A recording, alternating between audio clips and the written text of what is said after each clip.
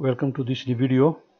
In this video I'll explain how to translate English uh, phrases into uh, mathematical statements. Similarly how to translate English uh, sentences into mathematical uh, sentences. We'll also discuss the kinds of uh, various mathematical statements. So let me start uh, with the, the translation of mathematical uh, phrases, uh, English phrases into mathematical uh, statement. to solve mathematical problems correctly, we must be able to translate English language, that is phrases or statements, into mathematical expression or mathematical sentence. Uh, if we could use appropriate use of variables, symbols, operations and notation in translating English language, it will give us correct equation and representation to solve a given mathematical problem. So we must understand how to uh, put it correctly mathematically. Uh, there are certain examples of translating English language to mathematical expressions and uh, we'll do that one by one so kindly uh, watch this video up to then uh, let me start with the translating English statement or phrases into mathematical expression. Uh, in the left column uh, we have written English statements or phrases and uh, on the right hand side we can we can see mathematical expressions. Let us suppose the English phrase is twice a number. So how can we write that uh, mathematically? Let us suppose there may be a number which equals x. Twice is equal to 2. So twice a number will be equal to 2x. So 2x is the mathematical expression of the English phrase of twice a number. Similarly, x plus x plus 1 plus x plus 2 is the mathematical expression of the English statement the sum of three consecutive numbers.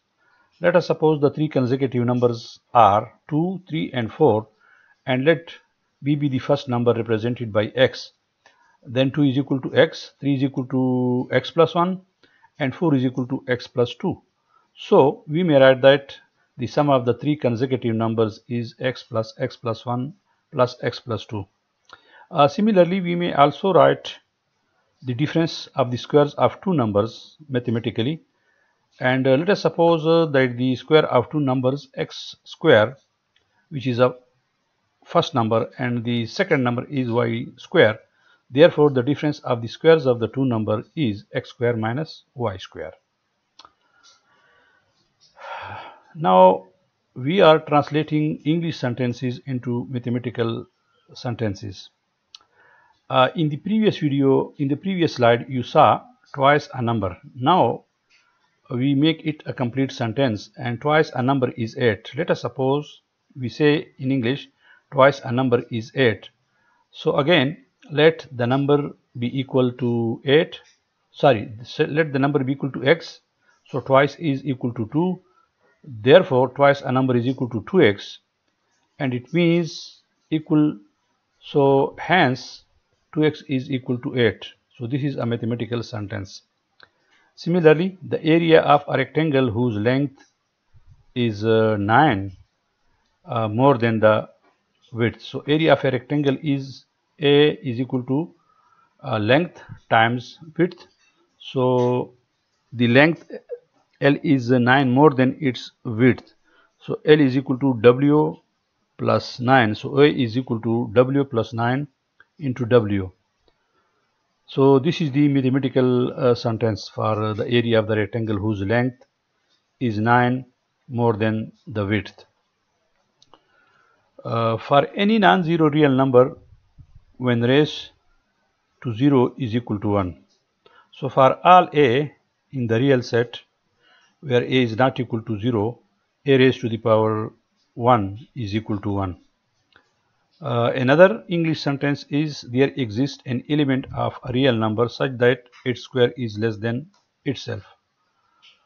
So let us suppose x uh, belong there exists x which is an element of the real number such that x square is less than x. So this is the mathematical sentence for uh, an element of a real number such that its square is less than itself. Uh, there are certain types of mathematical sentences. The first one is the universal statement. The universal statement expresses an idea that is true for all the elements in a set described. It uh, commonly uses the word all for all, for every, for each symbol. And example is all negative numbers are less than 0. A conditional statement is another statement which expresses a conditional idea that if one thing is true, then some other thing also has to be true. It commonly uses the word if then or if and only if are the symbol IFF if. And uh, we may give an example. If a number is even then it's multiple then it is a multiple of 2 and that's correct. So this is a conditional statement.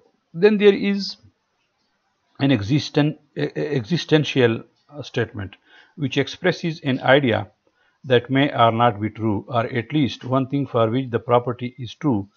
It commonly used word there exists uh, in symbol uh, this is the symbol for there exists.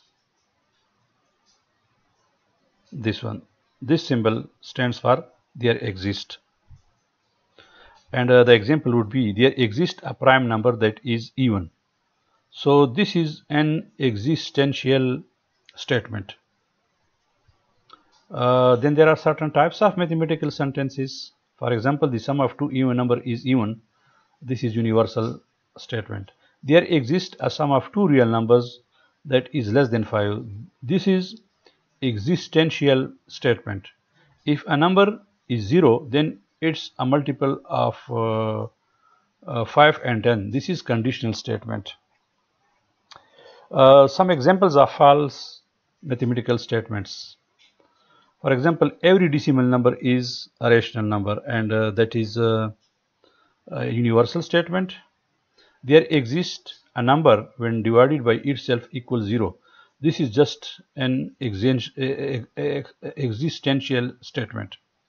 If x plus 7 is equal to 7, then uh, x is equal to minus 7. This is a conditional statement. Uh, thank you for watching this video. Uh, I hope uh, you found it uh, interesting and uh, useful. I will continue to upload other videos for you. kindly subscribe to the channel and uh, don't forget to click on the bell icon so that you could get regular notification about my other videos that I'll upload for you kindly share various videos of this channel in various whatsapp groups with